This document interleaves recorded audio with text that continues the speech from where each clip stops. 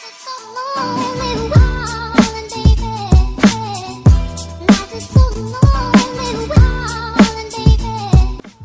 teman-teman kembali lagi bersama di channel Plan sekarang. Gua nggak bakal main game tapi sini kenapa gue main game? Karena gue pengen nunjuki sesuatu dulu. Nah jadi di video kali ini uh, gue mau bikin tutorial modif skin kalian sendiri gitu kayak gue ini boy. Di sini itu adalah request dari uh, uh, sebuah komentar dari Sukebar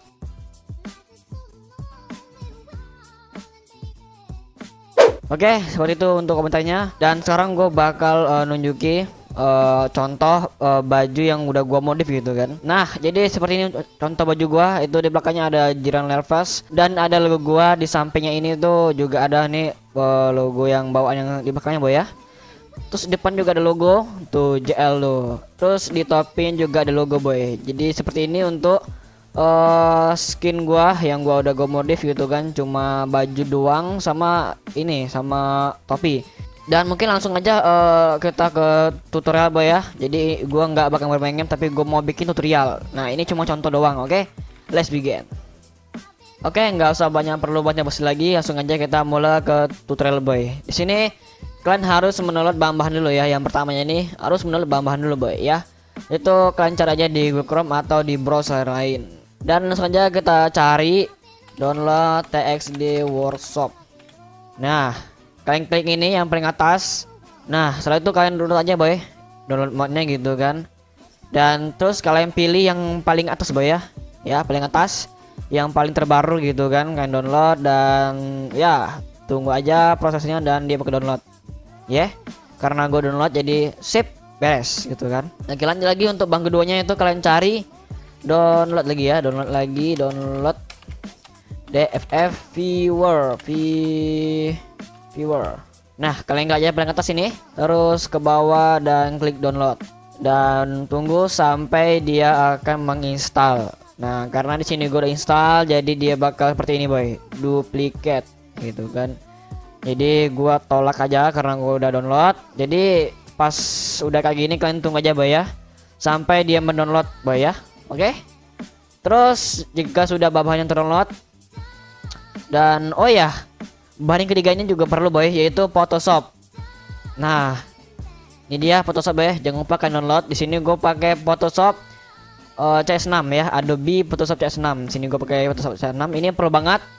Nah, di sini kalian bisa klik aja di link deskripsi untuk downloadnya. Di sini gue pakai yang crack ya, crack bukan yang beli. Jadi kalau kalian yang yang nggak punya budget silahkan aja download di link deskripsi karena itu gue sediakan link yang uh, crack ya boy ya. Dan langsung kita buka skin al. Nah skin al ini itu bergunanya untuk apa? Itu bergunanya itu adalah uh, uh, jadi nanti bakal gue bahas ya untuk gunanya gue cari skin al ini. Intinya kalian cari dulu. Dan di sini kalian cari mau skin mana yang kalian ingin modif. Skin gue udah ketemu dan di sini kalian copy aja yang skin model name-nya ini. Nah gunanya ini adalah uh, itu adalah gunanya untuk mencari file uh, name skin kita pas saat uh, di berikutnya boy ya. Di tutorial berikutnya. Sini intinya kalian copy aja. Oke ini uh, foldernya udah gue satu ya. Bahan di skin udah gue satu jadi biar gue gak bingung untuk mencarinya boy. Kalian buka dulu TXD ya TXD yang kalian tadi boy. Nah kalian buka TXD workshopnya boy ya setelah itu kalian klik aja yang open ini. Open image ya. Ini nggak kita boy ke Mac terus kalian cari di mana GTA SA kalian tuh disimpan ya. GTA SA yang kalian mainkan saat ini. Terus kalian buka modal. Terus yang GTA 3 ini boy ya. Kita tiga boy kan klik dan open. Nah ini tuh pasti bakal jadi pusing kalian ngelihatnya ini tuh tinggal kalian itu aja uh, copy paste yang tadi kalian salin yang di skin al tadi boy ya. Ini dia udah ketemu ada yang tipe DFF ada yang tipe TXD nah oke. Okay. nah seperti ini uh, untuk tipe TXD itu gambar ya. Ini oke okay, uh, eh, jadi skin gue ini udah gue modif tapi nggak apa. Jadi ini bisa masih bisa kalian modif lagi gitu kan. Nah uh, pertama-tama uh, setelah kalian cari terus kalian klik ekspor. Ya ekspor kalian pilih yang TGA oke. okay. Terus di sini kalian simpan di mana mau kalian simpan gitu kan. Saran gue sih kalian bikin folder. Jadi biar enak kalian mencari setelah seperti ini save gitu kan. ini untuk yang TGA ya. Hanya kita bakal cari untuk di PDF oh ini udah ada boy. Oh ini kan juga perlu kalian download juga ya. Oh, bukan download sih tapi di export ya. Bukan klik kanan terus export nah kalian simpan aja sini di folder ini yang folder yang udah kalian buat atau gua buat gitu kan Nah setelah itu baru kalian uh, export uh, uh, itu gambar skin kalian nih karena logo modif tapi nggak apa-apa lah. Terus kalian export pilih yang PNG. Nah kalian simpan di sini boy ya. Oke sekarang kita bakal kita buka Photoshop boy ya. Oke kita udah masuk di sininya dan langsung aja kita uh, open gitu kan. Nah sini kita cari uh, gambar baju yang kita ekspor tadi ya ekspor jadi PNG gitu kan. Nah oke. Okay. jadi misalnya kalau di kalian tuh kecil karena ini kan udah gua karena ini udah gede gitu punya gua udah gede udah pas gitu mau gua modif gitu kan. Nah jadi kalau kalian ke masih kecil gitu kan gampang. Kalian ubah aja tuh ke image ya image terus ke image size terus kalian ubah ke 512 karena ini udah gue ubah gitu kan 512 gitu kan 512 udah gue ubah gitu kan jadi beres boy Terus nah di Photoshop inilah gunanya untuk kalian mau kalian modif uh, ganti warna kayak atau kalian mau ngubah tekstur bajunya gitu atau ngubah tekstur mukanya gitu kan. Kalau kalian pengen ngubah warna bajunya gampang gitu kan. Uh, jadi kalian jangan langsung ngubah dulu tapi kalian harus uh, kalian pilih dulu di mana bagian yang kalian uh, warna gitu kan. Nah, itu kalian ke sini uh, ke rect rectangular gitu kan langsung dah kalian pilih tuh di mana tuh yang mau kalian ubah gitu kan warnanya. Pem gitu kan nah, jadi terus langsung aja kalian cari gitu mau ganti warna baju apa warna biru atau warna suka kalian gitu kan.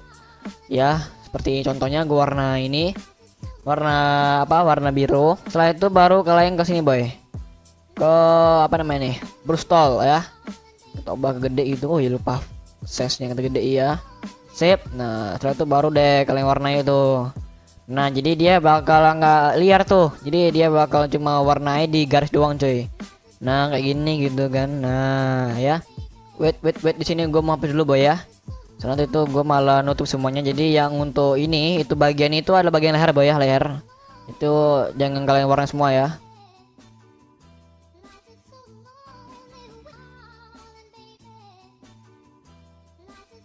dan baru beres gitu kan anjay. Ini ini untuk cara warna bajunya. Terus kalau mau pasang logonya gampang bos. Ini udah gue CP ya logonya tuh dan kita bakal cari aja. Nah ini dia logonya. Dan terus tinggal kalian pilih aja kalian mau taruh di mana kan. Ini jadi ini secara kalian mau pasang logonya mau seperti apa gitu kan. Nah ini itu adalah untuk uh, baju yang depan ya bos ya. Yang di kiri ini baju depan Uh, terus kalau saya saya, saya gue mau dulu bos. Nah terus uh, untuk baju yang belakangnya ini itu di sini boy di kanan sini boy ya. Terus kalau kalian mau kasih nama gampang sih. Tinggal kalian klik ini ya teksnya ini logo teksnya bos. Terus kalian tunggu wait wait wait. Tulis wah gede kali bos buset uh, gue ubah aja jadi 12 uh, no no no no no no 12 lalu langsung kita taruh aja nih. Kalian mau salah sih kalau mau taruh mana? Nah kalau gue tuh seperti ini boy ya. Nah ini nama gue di atas logo yang sini gitu lebih gede gitu kan. Terus ini juga ada logo gitu kan. Terus kalian sih uh, mau kostum kayak gimana boy untuk baju gua untuk baju kalian gitu kan muka baju gua sih ini sama kayak topi gue juga gue logo gitu kan ya. Jadi gampang kok tinggal kalian itu aja kalian pilih gitu kan kalian uh, red tunggal dulu gitu kan. Nah seperti ini. Baru kalian kasih warna gitu kan warna apa kayak kayak gua ini warna biru dengan kalian uh, wait wait wait.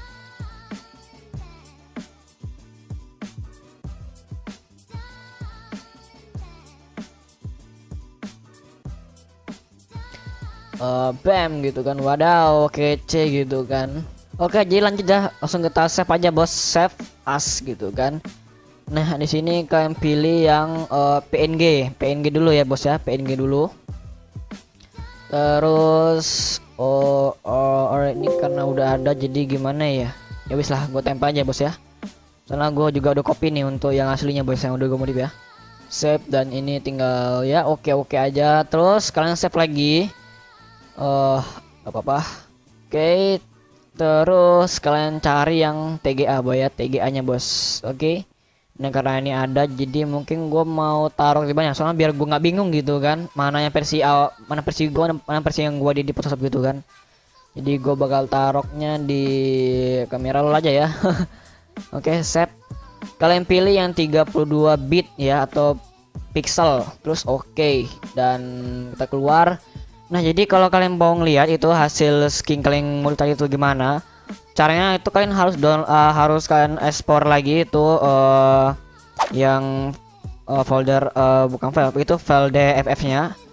Uh, kalau yang file DFF yang ini tuh dia tuh malah jadi yang uh, bawaan gua yang masih warna hitam ya. Kalau mau ngelihat uh, hasilnya itu gampang. Kalian harus buka dulu TSD nya TSD kalian buka kalian cari uh, GTA kan di mana? Terus uh, oh no no no. Oh shit. Terus model terus ke kita 3 langsung kita copy paste. Oh no. Sip. Ini dia langsung kalian uh, klik kanan terus ekspor. Ini kita pindah aja ke BEM sini boy ya kamera roll ya sip. Terus kita baru deh kita buka untuk cara uh, bukan cara untuk melihat hasilnya bos. Di DE viewer itu kalian uh, klik aja di kamera roll terus kalian pilih dah yang tadi yang kalian ekspor tadi bos ya. Dan bam dia bakal jadi seperti ini bos. Boh ganteng beda buset. Ini punya gue kurang rapi nih. Tuh kurang rapi bos. Ya jadi kalian bisa kalian edit lagi di Photoshop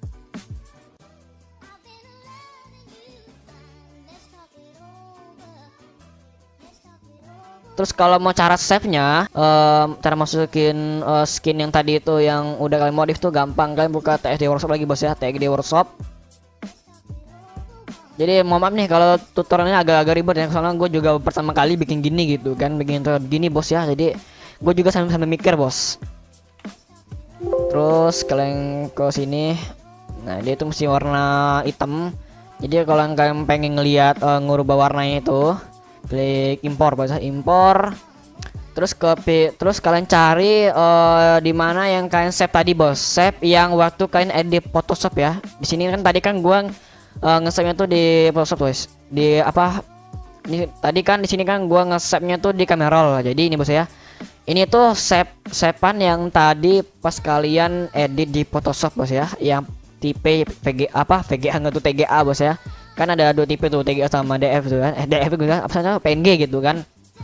Nah di sini kan juga bisa kok pakai uh, tipe yang PNG juga bos ya. PNG yang ini juga bisa bos ya. Dan open dan boom. Dia bakal ngerubah bos tuh. Dia bakal ngerubah. Terus cara ngesepnya gampang kalian tinggal ke save TXD nah karena gua nggak mau pakai warna biru jadi ini kan cuma tutorial ya. Jadi setelah itu baru deh kalian save TS, TSD ya save TSD dan udah selesai kelar gitu kan. Langsung kalian main aja bos seperti biasa bos ya. Dan by the way kalau tutorial bermanfaat jangan lupa untuk di like dan subscribe. Jadi sampai jumpa di tutorial berikutnya gitu bos ya. Sekali lagi jangan lupa untuk di like dan subscribe. Karena cuma itu yang gue minta ya. Karena itu penting banget buat gue cuy ya. Oke saya dari Genevel and so bye. Sekali lagi semoga bermanfaat dan selamat menikmati